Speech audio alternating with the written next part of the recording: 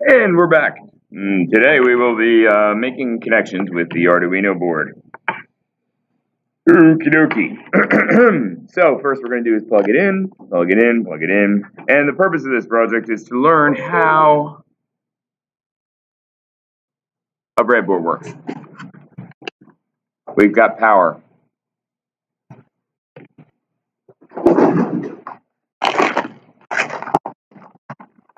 What color do you want? Blue. First word was blue. We have a blue LED. Blue. So what I'm going to do with the blue LED is I'm going to plug it into plug the the uh, anode, which you'll learn all about anodes and things in the future, into the 5 volts. And I'm going to take a resistor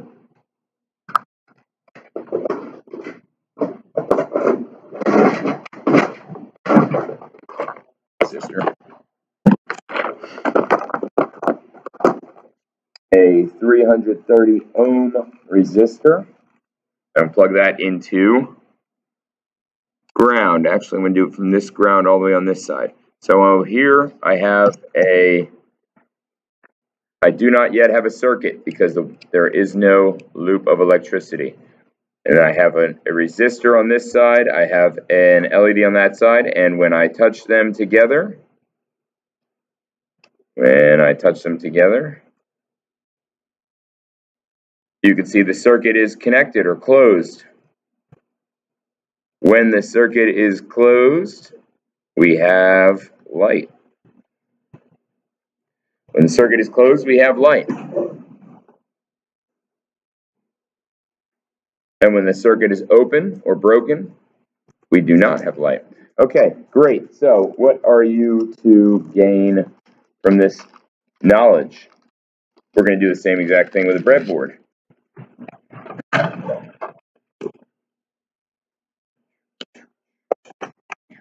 So it doesn't matter what wire colors you use, but I'm going to use red for the voltage source. And I'm going to use black for the ground. So notice I'm plugging them into the exact same pins. And So I'm just going to plug the uh, LED in this case into um, F10 and F8. I'm going to plug the power source into J10.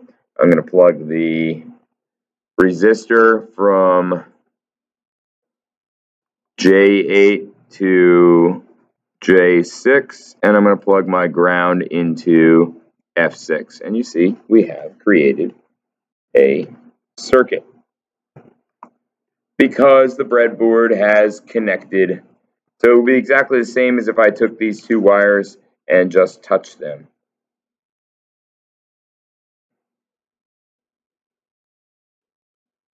But since I'm putting them into the breadboard, the breadboard has the metal behind it and it makes the connections. And there's the breadboard.